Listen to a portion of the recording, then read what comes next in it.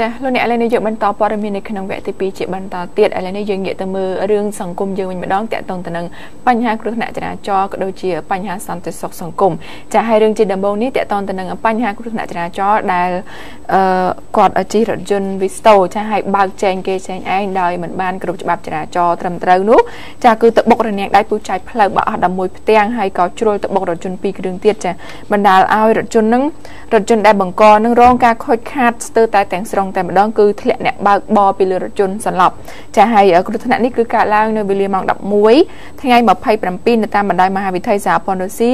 នៅភូមិចុងថ្នល់ខាងលិចសង្កាត់ទឹកថ្លាខណ្ឌសែនសុខហើយប្រភពព័ត៌មានបានឲ្យដឹងថារថយន្តបង្កគឺម៉ាក់វីស្តូពសជិះគ្នា3នាក់ស្រី2នាក់និងប្រុសម្នាក់គឺជាអ្នកបើកហើយគឺធ្វើដំណើរពីកាតាលិចដោយបើកដេញតាមវ៉ារថយន្តឡង់គ្រូសឺមួយគ្រឿង ចាដែលដេញវ៉ាគ្នាទៅវិញទៅមករហូតដល់ចំណុចខាងលើដែលជាផ្លូវកោងនឹងរថយន្តបង្កបើកលឿនពេកគឺជ្រុលទៅបុករនាំងដៃពូចែកផ្លូវបើអត់11ផ្ទាំងហើយរថយន្តបង្ករេចង្គោតទៅបុករថយន្តម៉ាក់ Star ពណ៌ស ជិះគ្នាពីរនាក់ទឹកដៅពីលេខទៅកើតបញ្ច្រាស់ទៅគ្នាធ្វើឲ្យរថយន្ត Mazda នឹងខូចខាតមួយកំណាត់ខាងមុខចំណែកឯរថយន្តបង្កវិញគឺវិលខ្ញាល់3ជុំហើយក៏ត្រូវរថយន្ត Mercedes ពណ៌ខ្មៅចាគឺជារថយន្តដែលដឹកភ្ញៀវទេសចរជនជាតិបរទេស4នាក់ហ្នឹងចាជនបរទេស4នាក់ហ្នឹងចេញពីពលានយន្តហោះចាគឺចេញពីអាកាសយានដ្ឋានអន្តរជាតិភ្នំពេញយើងហ្នឹងចាទៅសន្តាគារហើយបើកពីលេខទៅកើតបុករថយន្តបង្កធ្វើឲ្យរថយន្តទាំងពីរគ្រឿងហ្នឹងគៀបជាប់គ្នា ហើយរថយន្តបង្ករងការខូចខាតស្ទើរទាំងស្រុងនោះក៏បានធ្លាក់អ្នកបើកបរចាគឺធ្លាក់ចេញពីលើរថយន្តមកតែម្ដងហើយបោកក្បាលចាសន្លប់ក៏ត្រូវបានស្ត្រី2នាក់ដែលរួមដំណើរជាមួយនឹងជួយគ្រាចាយកទៅព្យាបាលនៅ clinic ឯកជន ចាសុសសាច់រថយន្តនឹងសុសសាច់តែម្ដងហើយក្រោយកាត់ហេតុគឺរថយន្តទាំង3គ្រឿងនេះក៏ត្រូវសមត្ថកិច្ចធ្វើការវាស់វែងយកទៅរក្សាទុកនៅការិយាល័យនគរបាលចរាចរណ៍ផ្លូវគោកដើម្បីដោះស្រាយជាបន្តទៅទៀតចាករណីនេះគឺរថយន្ត Visto តូចមួយហើយគាត់វ៉ាជាមួយ Lancer គេធំហើយមួយទៀតករណីដែលគាត់វ៉ាគឺគាត់ភ្លេចមើលស្ថានភាពផ្លូវចាស្ថានភាពផ្លូវគឺផ្លូវកោងមិនអនុញ្ញាតឲ្យវ៉ាទេចាអាហ្នឹងពួកអីវាពិបាកខាងនោះក៏កោងខាងនេះក៏កោងយើងវ៉ាអត់កើតអញ្ចឹងហើយគឺគាត់ដល់ផ្លូវកោងគាត់ភ្លេចប្រុងប្រៀបខ្លួនព្រោះបង្កទៅជាបុករះតតគ្នាសំខាន់បញ្ហាតែគាត់ម្នាក់ឯងអត់អីទេចាគឺគេអ្នកដែលធ្វើដំណើរបន្តបន្តហ្នឹងគឺក៏អត់ដឹងចាគឺវ៉ាអឺហ្នឹងគឺបង្កប៉ះពាល់រងគ្រោះ តតគ្នាទៅតូចមែនតែខ្លាំងណាបុកដល់ដល់មួយផ្ទាំងឯណោះ មួយផ្ទាំងឲ្យឡានពីរគ្រឿងទៀតចាអូនេះគឺរថយន្ត Mazda ទេមិនមែនរថយន្ត Star ទេមិញអត់តន់ឃើញហូបចាឆ្ងល់ Star អីគេតែរថយន្ត Mazda ចាលោកអ្នកឥឡូវនេះបញ្ចប់ករណីនឹងតែប៉ុណ្្នឹងទៅចាបន្តទៅរឿងមួយទៀតចារឿងមួយនេះគឺរឿងដែលហួសចិត្តដោយសារតែយុវជនគាត់ចង់ចូលផ្ទះសំណាក់ជាមួយមិត្តស្រីហើយយករថម៉ូតូចាយកម៉ូតូទៅប្រចាំក៏ប៉ុន្តែអកសលអីគឺខាងស្រីហ្នឹងវិចលុយយកទៅបាត់ពេលគាត់កំពុងតែចូលបន្ទប់ទឹកហើយចាអត់បានដឹងស្មានតែគេត្រង់មួយយើងចូលទៅតែស្គាល់គ្នាភ្លាមចាជួនកាលអាចអញ្ចឹងណាហើយខាងស្រីហ្នឹងគឺវិចលុយយកទៅបាត់តែម្ដងចាគឺ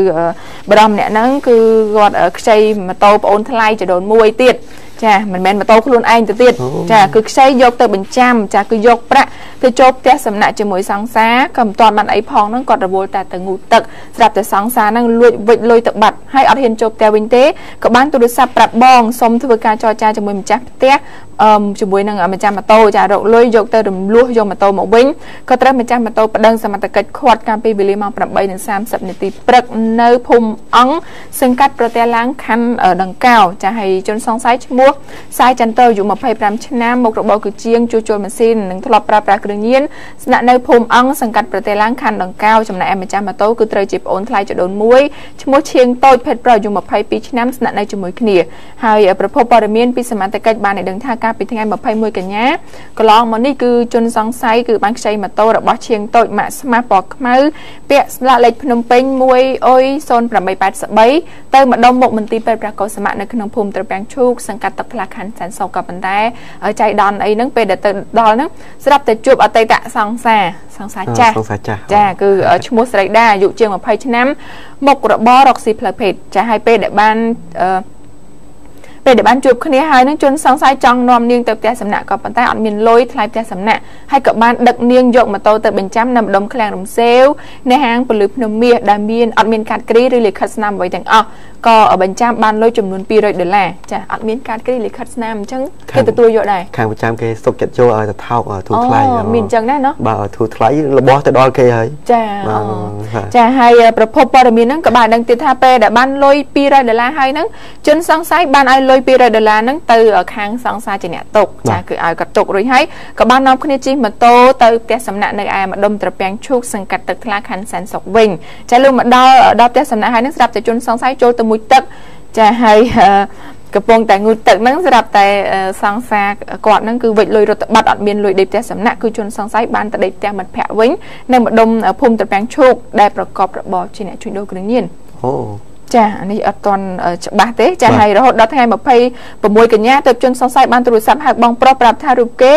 យកបានយកម៉ូតូរបស់ប្អូនថ្លៃចដូនមួយទៅបញ្ចាំហើយអត់មានលុយលួសយកម៉ូតូមកវិញទេគេក៏ចង់ហៅម្ចាស់ម៉ូតូមកនិយាយគ្នាសិនដើម្បីរកប្រាក់យកទៅលួសម៉ូតូក៏ស្រាប់តែម្ចាស់ម៉ូតូបានប្តឹងសមត្ថកិច្ចខាត់ខ្លួនយកទៅសាកសួរឆែឆែរកឃើញនឹងជាប់នឹងខ្លួនមានក្រដាស់ ក្រដាស់ពណ៌ទឹកប្រាក់សម្រាប់ជក់ថ្នាំញៀនមួយដុំទើបសមត្ថកិច្ចខកខ្លួនយកទៅសាកសួរនៅប៉ុស្តិ៍នគរបាលប្រទេសឡាងរួចក៏សាងកសាងសំណុំរឿងបញ្ជូនទៅអធិការដ្ឋានខណ្ឌដង្កោចាត់ការទៅតាមផ្លូវច្បាប់ជាបន្តទៀតករណីមួយនេះគឺព្រួយមួយបាញ់បានសัตว์ពីរចាដោយសារតកតងទៅនឹងយកម៉ូតូបងអូនថ្លៃទៅប្រចាំមួយទៀតគាត់ប្រើប្រាស់គ្រឿងញៀនចាបញ្ហាខុសច្បាប់ចាឥឡូវសមត្ថកិច្ចគឺគាត់ឲ្យខាត់ខ្លួនបាទនេះចា បាទករណីហ្នឹងគឺសុទ្ធតែស្គាល់គ្នាតិចតួចណាក៏តិចតួចក៏នាំគ្នាចូលផ្ទះសំណាក់ប៉ុន្តែខាងនោះគាត់វិយកលុយអស់មិនមែនស្គាល់គ្នាតិចតួចណាសង្សារចាស់គាត់សង្សារចាស់ដែរណាចាឥឡូវអ្នកលេងបញ្ចប់ករណីហ្នឹងតែប៉ុណ្្នឹងទៅយើងបន្តទៅករណីមួយទៀតចាគឺខាត់ខ្លួនជនសង្ស័យបាទមកខាងខ្ញុំមួយសិនអូសុផនសិនចាបាទមកខាងខ្ញុំរឿងតាកតូននឹងស្ត្រីម្នាក់គាត់មានផ្ទៃពោះចិត្តគ្រប់ខែទៅហើយប៉ុន្តែដល់ប្តីគាត់រត់ចោលទៅគាត់ក៏ដួលសន្លប់ នឹងសង្ស័យគាត់អន់ចិត្តឬក៏ចង្ការចង្ការរន្ធត់ចិត្តពេកគាត់ចិត្តគ្រប់ខែទៅហើយបាទស្ត្រីម្នាក់វ័យ18ឆ្នាំដោយសារតែជីវភាពក្រីក្រមានទីពោះចិត្តគ្រប់ខែទៅហើយប្តីហេងសូលគេដាក់ឈ្មោះឲ្យប្តីហេងសូលទៀតណាបានរត់ចោលធ្វើឲ្យនាងដេកសន្លប់នៅក្នុងបន្ទប់ជួលតែម្នាក់ឯងគួរឲ្យអណយអធមធ្វើឲ្យមានការភ្ញាក់ផ្អើលកាលពីវេលាម៉ោង12ថ្ងៃត្រង់ថ្ងៃទី27ខែកញ្ញានៅបន្ទប់ជួលស្ថិតនៅក្នុងស្រុកជេកសង្កាត់ជើងឯកខណ្ឌដង្កោ ស្ត្រីដែលដួលសន្លប់មានឈ្មោះថាវ៉ាន់ស្រីតៃអាយុ18ឆ្នាំស្នាក់នៅផ្ទះជួលភូមិស្រុកជ័យសង្កាត់ជើងឯកខណ្ឌដង្កោមានម្ដាយឈ្មោះថាវ៉ាន់ជ្រែបអាយុ39ឆ្នាំមុខរបរជាអ្នកដើរកោះខ្យល់ឲ្យគេនឹងបោកក្អៅតាមផ្ទះនិងស្នាក់នៅជាមួយគ្នា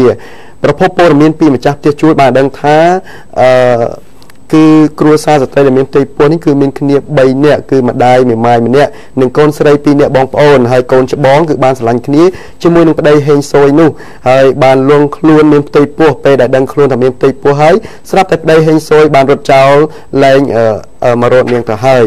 ប្រភពព័ត៌មានបានបន្តទៀតថាអ្វីដែលគួរឲ្យអណយអធមដល់គ្រួសារក្រីក្រមួយនេះគឺព្រឹកខ្វះល្ងាចហើយបែរជាមានបន្ទប់កាន់តែធ្ងន់ធ្ងរដោយសារតែកូនស្រីទៅតែនឹងធំពេញវ័យរូបស្អាតនេះគឺមានផ្ទៃពោះចិត្តគ្រប់ខែទៅហើយហើយប៉ះប្តីគាត់រត់ចោលទៅទៀតហើយគាត់ដួលសន្លប់បាទអត់មានការទទួលខុសត្រូវទេជួនកាលទៅយើងក៏ជួនកាលយើងស្រឡាញ់គ្នាទៅជាបំផ្លាញគ្នាទៅវិញបាទយើងអត់មានទំនួលខុសត្រូវយើងជាបរិសម្នាក់ដែរតែយើងរត់ចោលគេធ្ងន់ធ្ងរមែនតើសម្រាប់បរិសគឺជាអ្នកទទួលខុសត្រូវខ្ពស់នៅពេលដែលស្ត្រីមានផ្ទៃពោះអីចឹងណានៅពេលដែលគាត់ធ្វើអញ្ចឹងបន្ទុកនឹងគឺត្រូវធ្លាក់ទៅលើមនុស្សស្រីតែម្ដងបើសិនជាមនុស្សស្រីគាត់អាចរឹងមាំមានលទ្ធភាពគ្រប់គ្រាន់សម្រាប់ខ្លួនឯងហើយនឹងកូនគឺអត់អត់អត់បញ្ហាអីទេក៏ប៉ុន្តែជួនកាលគាត់ទុនខ្សោយក៏មិនដឹងទៅធ្វើអីរកអីអញ្ចឹងគឺបង្កទម្ងន់ទៅដល់គាត់កាន់តែធ្ងន់ទៅទៀតបាទ ណាមួយគ្រួសារនឹងក្រីក្រទៅទៀតគឺម្ដាយគឺមេម៉ាយហើយមានប្អូនស្រីម្នាក់ទៀតបាទនេះយើងបញ្ចប់ករណីគួរអាណិតនឹងតែប៉ុណ្្នឹងចុះហើយយើងបន្តព័ត៌មានករណីគ្រឿងញៀនមួយទៀតគឺកងរាជបុត្រហាត់អឺ ខេតនឹងគឺបង្ហាញមុខជនសង្ស័យឲ្យជួញដូរគ្រឿងញៀនពីរជាប់ជាប់គ្នាបាទរយៈពេល2ថ្ងៃជាប់ជាប់គ្នានេះគឺថ្ងៃទី27 28ខែកញ្ញាកងរាជវហាត់រាជធានីភ្នំពេញបានបង្ហាញមុខជនសង្ស័យចំនួន18នាក់ត្រូវបានកម្លាំងកងរាជវហាត់ខណ្ឌសែនសុកចាប់ខាត់ខ្លួនពាក់ព័ន្ធនឹងករណីគ្រឿងញៀននិងរិះសាទុកសារធាតុញៀនជាប់នឹងខ្លួន ក្នុង11នាក់នោះគឺបានខត់ខ្លួនកាលពីថ្ងៃទី26ខែកញ្ញាឆ្នាំ2014នេះនៅតាមផ្លូវលេខ271នៅក្នុងភូមិត្រពាំងឈូកសង្កាត់ទឹកខ្លាខណ្ឌសែនសុខហើយ7នាក់ផ្សេងទៀតគឺខត់នៅចំណុចនៅវេលាម៉ោង8:40នាទីនៅថ្ងៃទី27ខែកញ្ញា កងរាជវហាត់រាជធានីភ្នំពេញបានឲ្យដឹងថាកាលពីវេលាម៉ោង8យប់ថ្ងៃទី26ខែកញ្ញាតាមដងផ្លូវ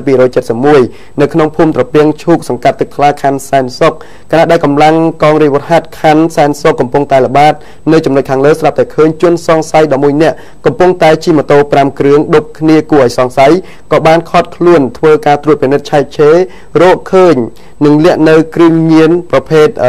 ក្រាមសព្រសហ្នឹងចំនួន6កញ្ចប់និងឧបករណ៍ជក់គ្រឿងញៀនផ្សេងផ្សេងទៀតកងរាជហត្ថរាជធានីភ្នំពេញបានឲ្យដឹងថានៅវេលាម៉ោង8:40នាទីយប់ថ្ងៃទី27ខែកញ្ញាកងរាជហត្ថខណ្ឌសែនសុខកំពុងតែល្បាតនៅចំណុចខាងលើគឺបានខត់ខ្លួនជនសង្ស័យគឺប្រើប្រាស់គ្រឿងញៀនចំនួន7នាក់ជាមួយនឹងម៉ូតូ3គ្រឿងអឺហើយនឹងបច្ចុប្បន្ននេះជនសង្ស័យទាំង18នាក់កំពុងតែកសាងសំណុំរឿងបញ្ជូនទៅតុលាការហើយ បាទយើងឃើញថានេះសុទ្ធតែយុវជនដែលពេញកម្លាំងទាំងអស់ហើយគាត់ប្រើគ្រឿងញៀន